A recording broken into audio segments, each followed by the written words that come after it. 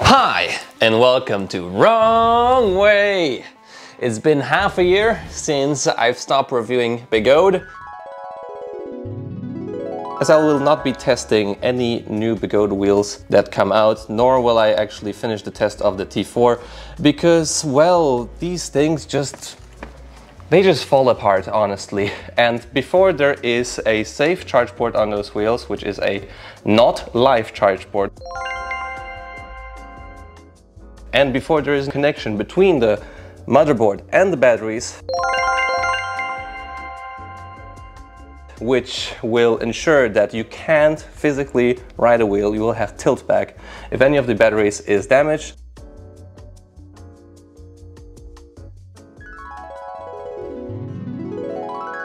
So it's time to give Begode a chance. And we'll be doing this with a wheel where Chance gave Begode a chance. Or he gave them some chance. And by that I mean his name, Chance Hines, which was talking with Begode a lot, a fellow American writer, to make sure that this wheel will be good. And throughout this time when I was not reviewing Begode, and pretty much as always, Begode was trying to improve their wheels and make them better, and I hope this will be the case, because they certainly didn't improve in spelling my name.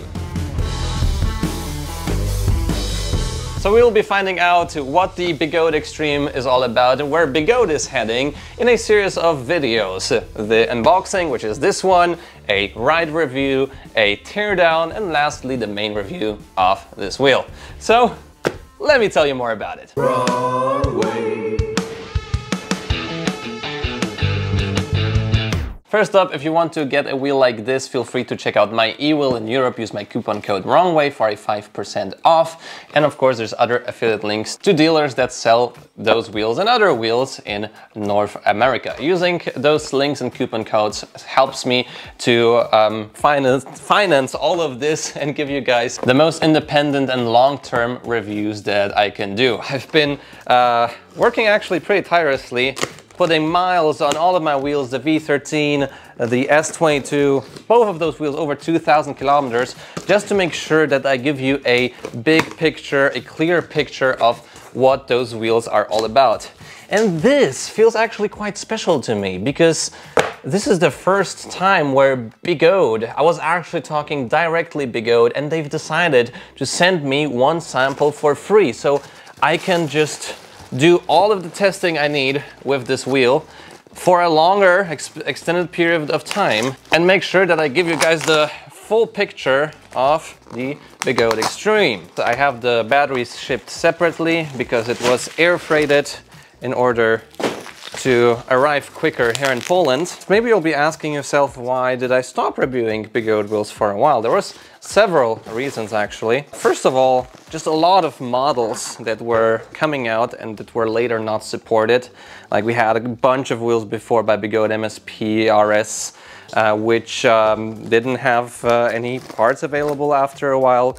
You know, this is already a while ago and uh, Happily, the newest wheels don't seem to catch on fire. However, the Begode 2 did cut out on Marty, and now he is recovering from a fall on this wheel, which was a Begode wheel. And Chooch recently had a high-speed cutout on this very wheel. So, um, of course, all manufacturers have issues, some bigger, some smaller. Uh, Begode is not the only one that had uh, battery fires uh, until now. But after switching to the different cells, improving their software, it seems to be better or all right. When it comes to customer service and durability, well, that's something that we want to find out. Oh, and talking about this latest cutout by Chooch, in this video I'm also going to explain to you uh, why I think that it's easier to cut off on Begode wheels than on veteran wheels.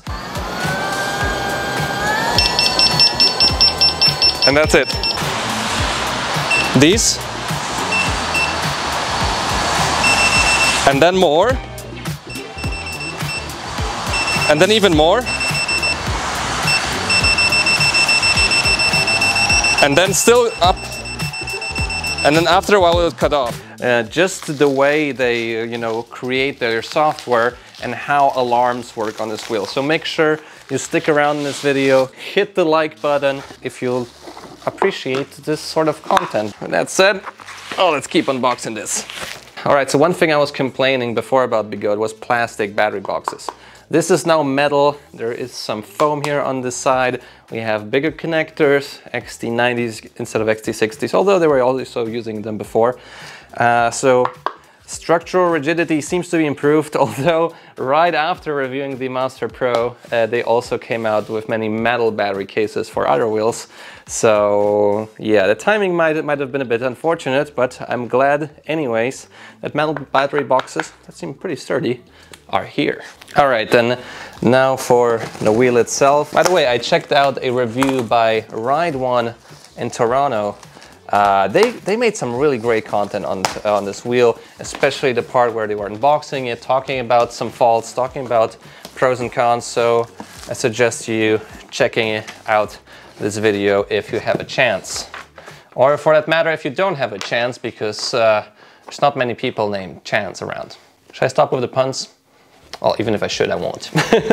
Anyways, right away we are greeted with a spec sheet. So we have a 18 inch wheel, well, a 12 inch rim diameter, 2400 watt hours, so just like the Master. 13 uh, centimeters of suspension travel, so just like the S22, a lot more than the Master and other wheels they, they made previously. Uh, when it comes to the weight, is it anywhere here? 134 volts and free spin speed is somewhere around like 100, what, 10, 115 kilometers an hour. In general, this should be a high performance, I guess, off-road wheel um, by Begode. So I guess the, the specs the specs seem just right for us. I, I, just wonder, this wheel is a lot more expensive than the Master. The Master's for like 2400 euro at my e-wheel and this is 800 euro more expensive. Uh, I'm curious what this wheel gives uh, compared to the Master, what justifies the higher price or doesn't justify the higher price. We have a stock 5 amp charger in the box. It's pretty big, pretty lengthy, but not too heavy. As usual, I'm waiting for the day where we'll get such chargers. This is my charger from Ukraine, from Surge. Well, I got it through Surge. 5 amps, 9 amps, 600 grams, what do you want to carry? Well, obviously. So I will want, I want for those expensive wheels to finally have small adjustable portable chargers instead of these bricks. But 5 amps is already better than 3 and that is what we usually got from Begode. I really do like the charging socket though, the GX20-4. This is a lot better than all of those 126 volt wheels with those, uh, what, 6 pin GX16 connectors. What else we got in the box? We have a pump Really like those pumps because you can pump up both your tire and the shock with those. I got the air suspension version. I did want to get the spring, the coil. Uh, however, I would have to wait a longer time to get it. So uh, I guess, oh, fuses, interesting. That's probably for either the board or battery fuses. It's cool there in the box. But I said with the coil suspension, it seemed to be a bit too light for most riders in performance riding. It can get coils for these wheels, much easier than for the Kingsong S22 because they have the different dimensions. But here it is, in all of its glory, everything cold, a lot of metal, a lot of the body is metal. Let's get this thing out of the box.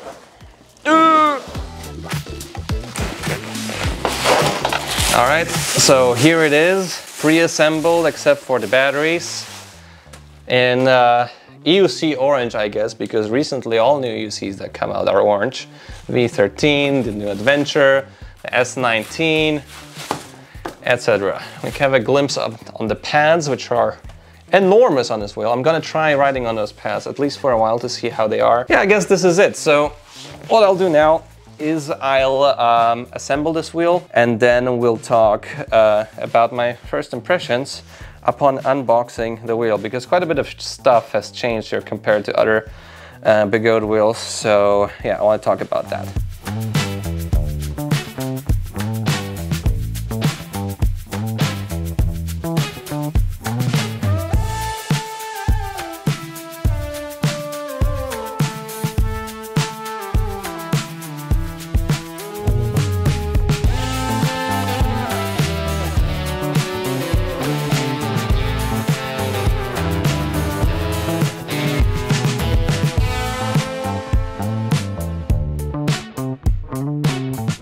So the wheel is finally assembled. It uh, took a while, uh, maybe a bit above an hour. That's, that's because uh, all of the um, batteries uh, weren't connected. I had to, you know, open it all up, put it all together. And this also gave me a glimpse about the inside of the wheel. Now, I will do a full uh, teardown of it, so I won't spoil too much about how this thing looks from the inside. We'll also see after a while of riding how it looks after riding. Uh, but from what, what I can tell from now, like it looks actually pretty solid. I'm quite impressed with the like quality of metals. All of the screws are big. Everything looks uh, pretty tightly uh, put together and also pretty well sealed. Like not only are the batteries sealed, they have their shrimp, shrink wrap around them, but also the cables which go up to the motherboard. They have a very tight hole which you need to thread through.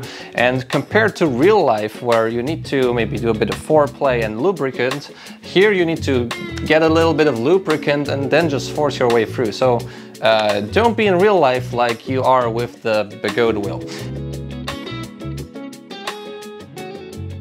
I do like how it's assembled as said. There's this uh, seat already on top. A lot of stuff is included. Uh, so I'll get this thing off of the rack. We will talk about what are my first impressions. But before we do that, I'll show you outside really quickly what is the difference between alarms on Begode wheels and on well, it's here, on veteran wheels. All right, so the thing about Begode and alarms is that, well, you can set up when it kicks in nowadays. You can set it at 70%, 80%, whatever you want. But there's just one tone of beep. And out of the factory, every Begode wheel, I feel like has a different limit and they can't really ca calculate well where the cutoff point is. Where are you really pushing too much? So when you are um, pushing a wheel which, uh, with a smaller battery, I feel like you will have less uh, time, less kilometers an hour, less acceleration before this cuts off than, for example, a Master Pro. So to demonstrate with the beeps, let's uh, start riding. I had to redo this one because I had uh, the speed alarm still on. So now they're off, just the power alarm is on, and it's just one setting. It's either on or off uh, from factory at 80%. So let's see how it works.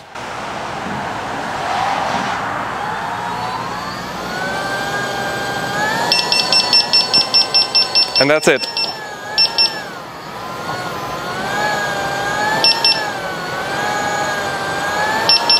It's just one level. Well, at 80% power draw from factory, and you're still accelerating, might be already too late. And with veteran wheels, even if you have the beep, it doesn't mean that right away they will cut off. They have just better set limits, better software uh, on their wheels. So once it starts beeping, you can still push through or you, you, have just enough time react to, to react to back off. So you can see here that first I have those little bit of beeps.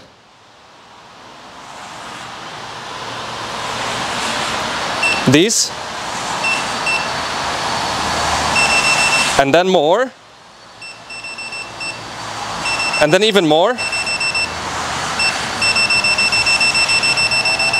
and then still up and then after a while it cut off so after those five beeps I could still go 10 or 15 kilometers an hour more so this gives me gives me just plenty of time to react so I think with a veteran wheel especially out of the box it'll be easier not to cut off not to overlean it than a Begode wheel so if you have one of those, especially with the smaller batteries, and uh, touch, go close to top speed, you will be, you just need to be really careful to reach it slowly because the cutoff point will be sooner on this than on this out of the box from factory. All right, so moment of truth. You probably saw it already running, but this will be my first time, put that back in right in a second. First time powering the Begode Extreme on.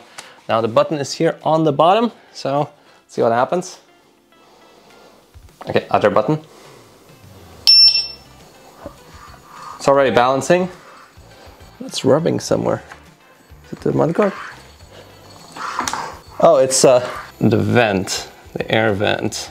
But Anyways, Uh, this is the wheel. I guess it's uh, it's a, another option that you have if uh, you want to buy a Patton, a Extreme Bull Commander Mini. Yeah, it's supposed to be a mega off-road wheel. There are several things that I really like that Begode does to their wheels. First of all, I'm a big fan of this type of suspension.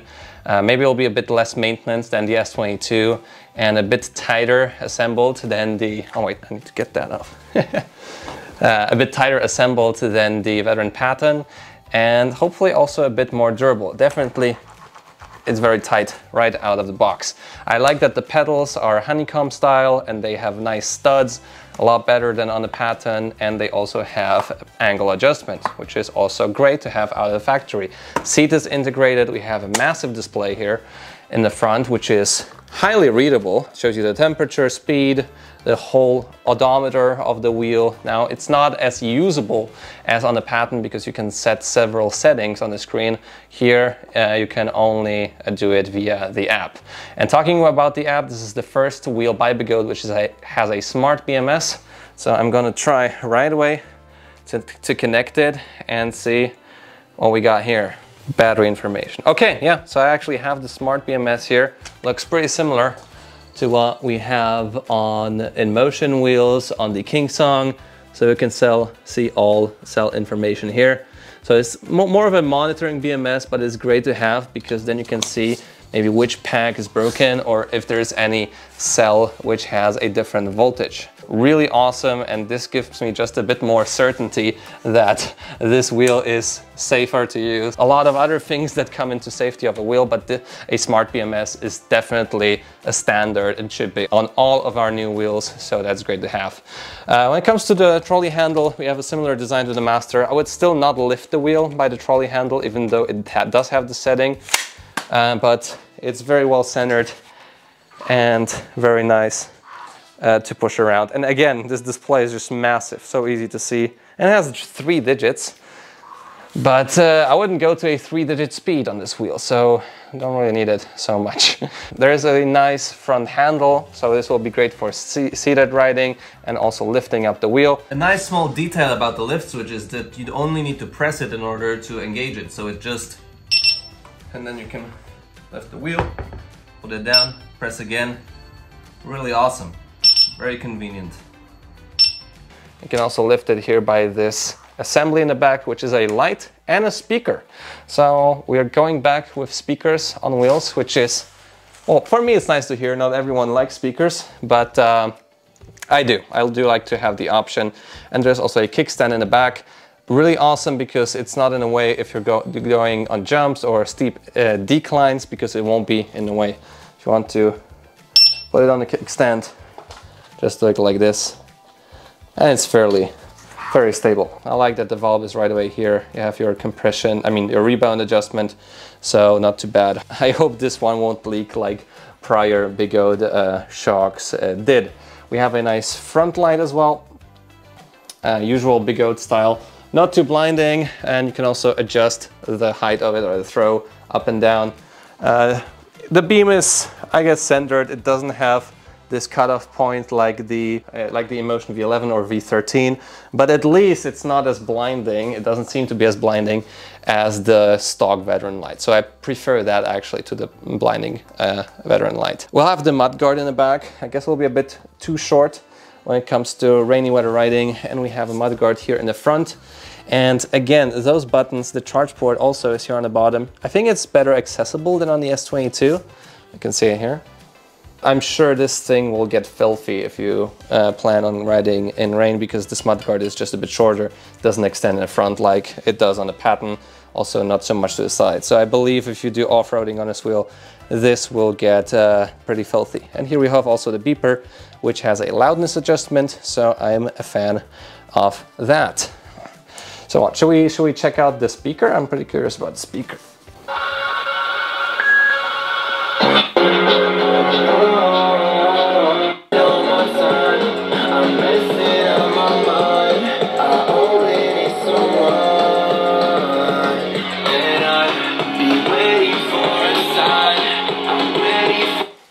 It's not awesome quality, but it's there. So if you're just going somewhere and you guys are stopping over and you want to hear, uh, listen to some music, you can do it. I'm glad it's here. It's not, you know, a JBL um, small, I know, flip speaker or anything like that, but it's, uh, it's, it's okay. It's there. Oh, by the way, we have the pads here, but I think Begode just forgot to ship me the screws for this pad because there's holes here where you can uh, align this pad, which is really awesome. And uh, you can just fit it to your liking, but uh, I can't put it on now because I don't have the screws. So that's something you'll need to wait for when it comes to the first impressions ride on this wheel. I do like that there's uh, quite a bit of space here. I can just put my foot in, see how it is. Um, and um, one thing I was slightly concerned is like get this getting into the tire. As you can see, it might be the case if I'm braking hard, that it catches by the tire. But I don't know if this happens, if it'll be all screwed in, but that was just a slight concern of mine. Brake pad could be definitely higher. Uh, so, but, but I think it's still very usable. So I don't think it's a pad that I would just uh, take off immediately if I would be just enjoying some, you know, city cruising. And you also have bumpers then. And it also has the front bumper here then. But uh, again, I don't have the screws here, so I can't really uh, put it onto the wheel right away. When it comes to charging, there's a single charge port now, and I totally don't mind that. Thing one is enough if it's a charge port like they use here. And uh, I'll really quickly also check what is the max amp amps I can uh, charge this wheel with. And I'll just uh, grab my fast charger from Honing real quick. So it's not fully charged, so it shouldn't be a problem to reach the max amps. So we have uh, 120 volts, we are charging at 5 amps, 8 amps, 9 amps, 10 amps. Are we charging? Let's go. The Patton is 15 amps. 11. Okay, 11 is too much. It stops charging at 11. So I guess uh, we can charge it with a charging speed of up to 10 amps. So about uh, two hours for a full charge. All right, so probably when you're looking at the Extreme, you're also looking at the Patton. They're in a pretty similar price category, although the Extreme is slightly more uh, cheap. And when it comes to performance, well, I don't know yet because I uh, didn't try riding on the Extreme yet. But uh, I'll just show you some first impressions compared to uh, the Patton. And out of the box, the Begode just comes with more accessories. The pedals are way better. Uh, the stock pads are also better. Well, I didn't have any pads on this. Uh, the seat is better. There is no seat in here. And also this here, this uh, rubber piece will be more comfortable against your leg. Well, maybe we'll see because there's also this. Well, we'll see. Uh, tail lights seem pretty similar or a bit better maybe on the Patton. Front lights, I, I, prefer not blinding much with a bit weaker beam than super blinding. I had to change the light here on the Patton. Kickstand, pretty similar. Trolley handle, probably also pretty similar.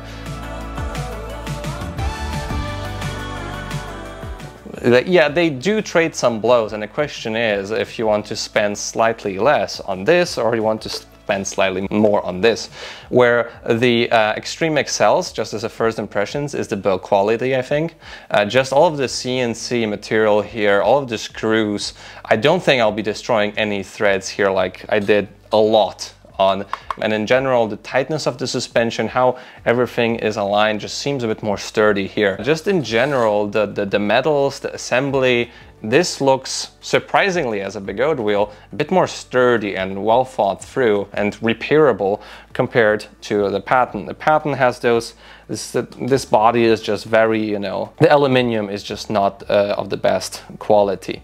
Now the question is how they will ride, how will the suspension behave, how will it uh, be in the long run. Oh, additionally, some things I wanted to mention about uh, the Begode is that the app got really a lot more configurable now. So not only you can set up your PWM alarms on this wheel, I would suggest putting them a bit lower than factory, maybe 70%. You can also adjust if it will be pedal dipping or the pedals will go up in turns. So this is pretty great. And uh, I think that the, in general, the, the, the, app at Begode just got really, really configurable. And this has a smart BMS, this doesn't. And this also has temperature sensors, uh, as far as I'm aware, in the batteries, this too.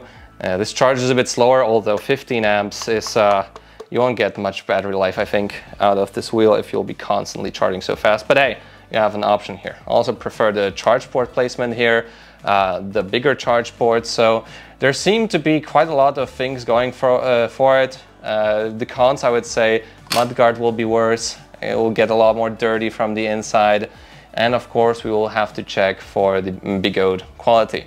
With that said, I think Begode improved uh, a lot uh, well, see when writing, throughout the, this half a year where I wasn't reviewing them. We got rid of the cold charge board. We have a smart BMS now. Now the question is if, if we will have also parts for this wheel coming forward. Because usually with Begode, when you order a wheel and it's on your way, they already made a new one and you will either cancel, cancel your order or you'll be forever stuck with something that you're not satisfied with. So I think they're sort of a laboratory where they are doing just a lot of stuff and seeing sort of what sticks uh, and um, some of it won't, some of it will, and we never really know which one will. It's not even like the first batch is like, you know, not sure to get. It could be the second, the third, you, you never know.